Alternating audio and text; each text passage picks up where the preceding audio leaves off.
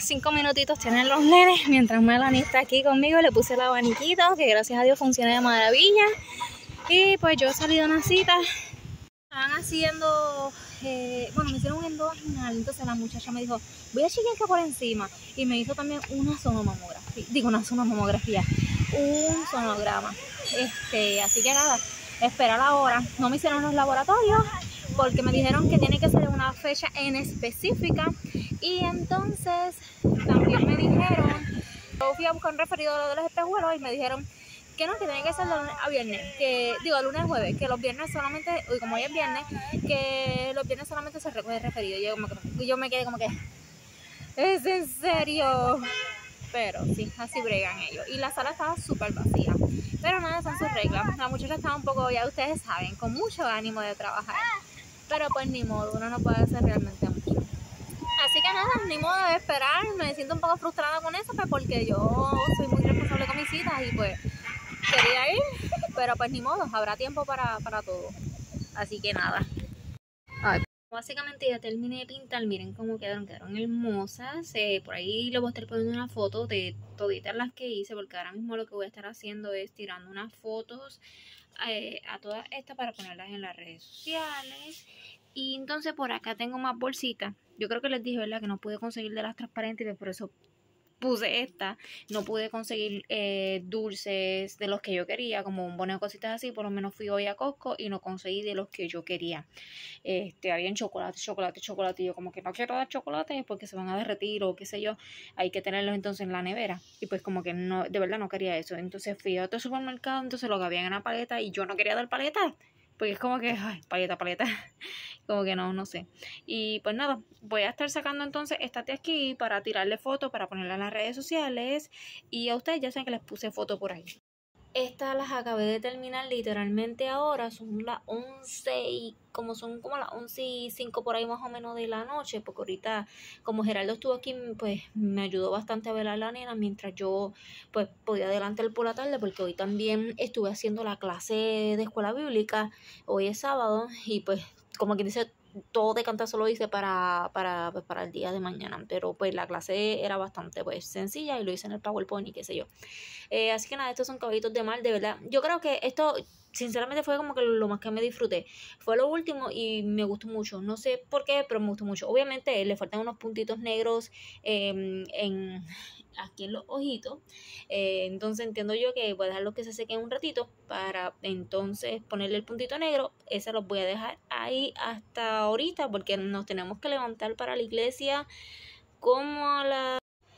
Bueno, yo voy a poner la alarma a las 5 y 40. Y como yo me conozco, voy a decir 10 minutos más. Pero realmente lo, voy a poner como a las 5 y 40 para eso mismo. Para entonces ya levantarme a las 5 y 50. Es como que literalmente yo tengo que engañarme mi propio cerebro.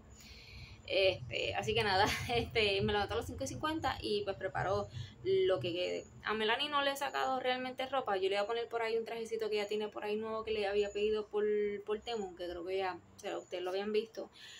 Pero pues no sé, porque ha estado haciendo pues frito y pues quiero ver primero, ¿verdad? Cómo va a estar el clima a esa hora para entonces saber si le pongo un trajecito, si le pongo un pantalón largo o qué sé yo.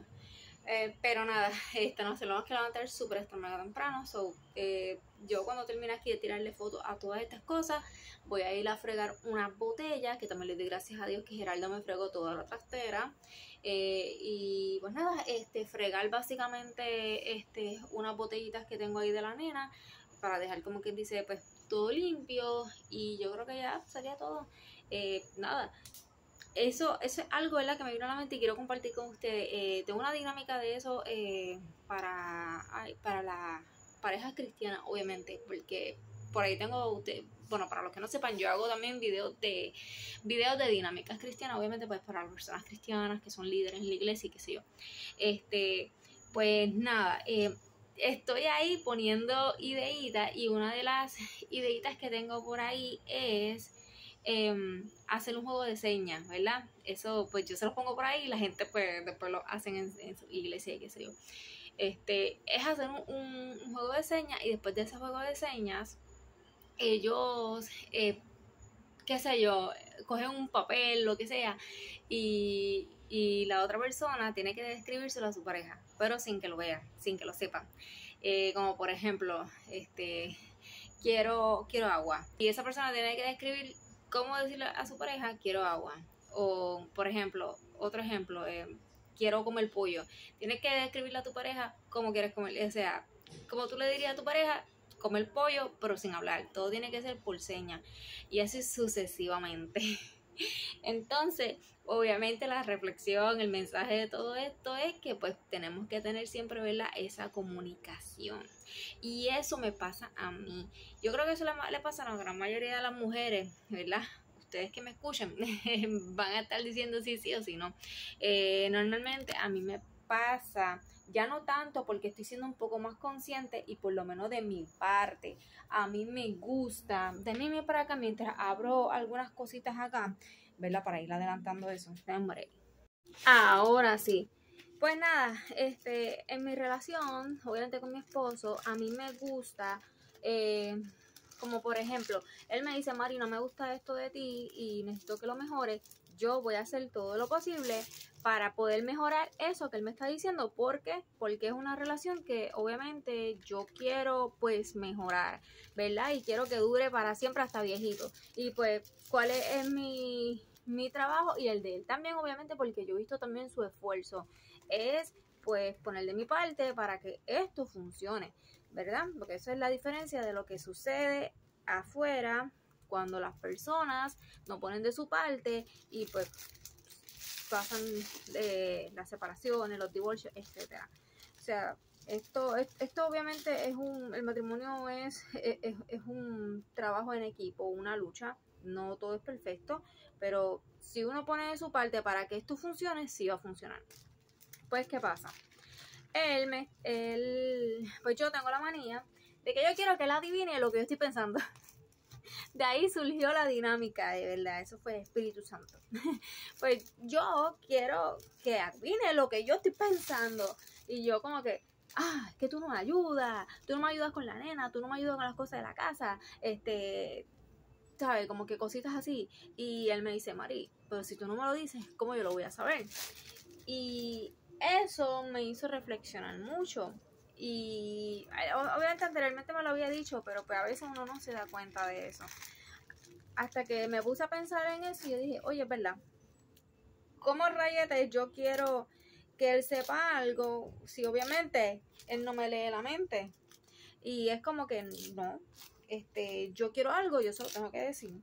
Y exactamente eso fue lo que pasó en el, en el día de hoy. En el día de hoy, yo le dije a él, mira, este, necesito que me fregue. O bájame la trastera, baja la mitad, eh, o tú lavas las botellas completas, o lavas la trastera.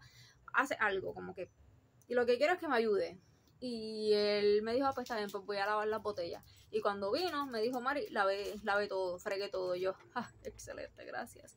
Y después, cuando estaba haciendo las clases bíblicas, tra este para, preparándola y para también para pintar estas cosas, yo le dije, mira, necesito que me veles la nena para yo poder, poder, adelantar estas cosas para por la noche no terminar tan tarde. Y él pues se quedó obviamente con la nena y todas esas cosas. Pero el punto está en la comunicación. Si no le decimos nada a nuestra pareja, ¿cómo entonces nuestra pareja va a saber este, qué queremos?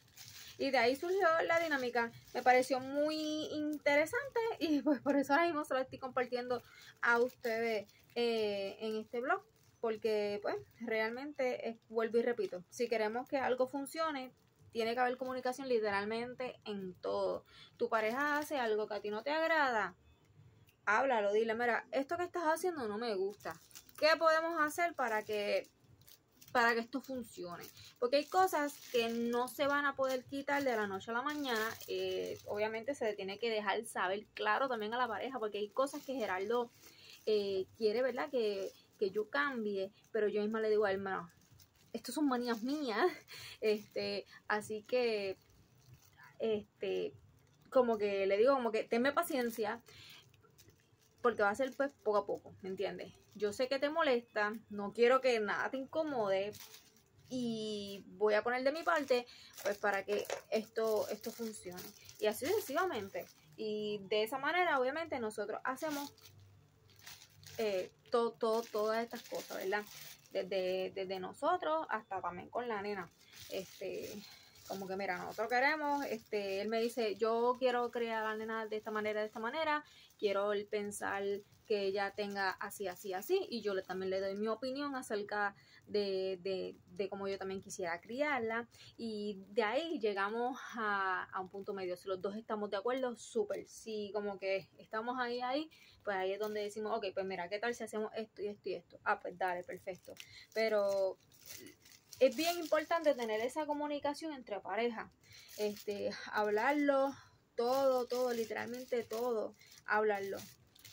Por eso es que es bien clave, bien, bien clave la comunicación. A mí yo me acuerdo que cuando Gerardo y yo éramos novios, personas, obviamente llegaban a nosotros que nos querían mucho, nos decían eso mismo, nos decían, siempre mantengan la comunicación, les molesta lo que sea, háblenlo, díganselo, porque eso es lo que los va a tener ustedes, porque imagínense estar en una relación en donde ustedes no hablen con sus parejas, no tengan temas normales de hablar, ¿sabes qué, qué, qué aburrido es? Va, va, va, va, a ser eso, es como que no, ¿sabes? Con esa persona tú vas a compartir toda tu vida. Y pues nada, eso era básicamente mi, mi mini este desahogo, más que desahogo, como que consejo y por ahí es espoliándole, no sé cómo se dice esa palabra, este, choteándole, ¿verdad? Aquí una de las dinámicas eh, de pareja que les tengo eh, por ahí preparada. Me faltan como dos más más o menos para entonces pues crear el video, porque me gusta que los videos tengan de tres dinámicas en adelante, pues para que este, tengan pues bastantes ideas eh, para escoger. Así que nada, lo voy a dejar para poder avanzar aquí y nada, bye.